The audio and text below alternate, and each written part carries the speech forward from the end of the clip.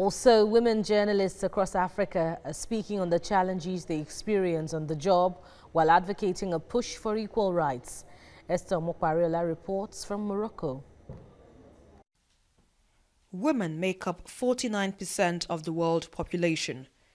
They are our daughters, sisters, wives, mothers, colleagues, and even bosses. In an interaction I had with some women journalists, some of them tell me the beauty of being called a woman. It means the whole world. I mean, everything.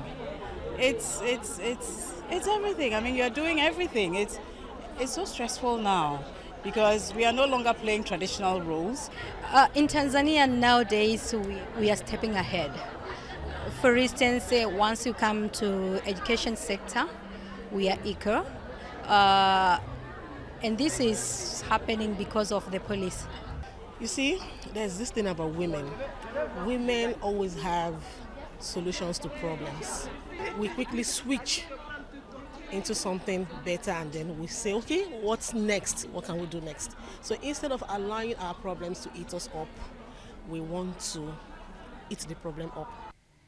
Though the last decade has seen a transformation of women in political leadership as parliamentarians, ministers, and even a head of state, there are some factors limiting the rights of women, especially in Africa.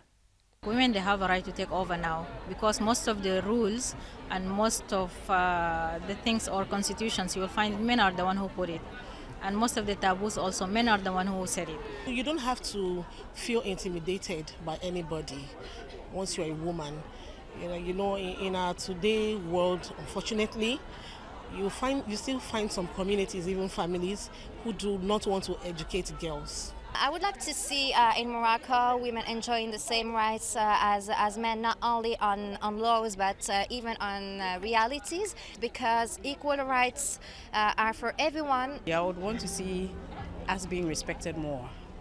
Um, especially in those communities. I mean, I feel so sad when I see some women, you know, doing everything they can, bending their backs and trying to please the men. This year's theme of International Women's Day, Each for Equal, is expected to spark a global reminder that a woman shares equal right with the man. But how far can this go in changing stereotypes and building a more equal society? Esther Mokwariola, TVC News, Casablanca.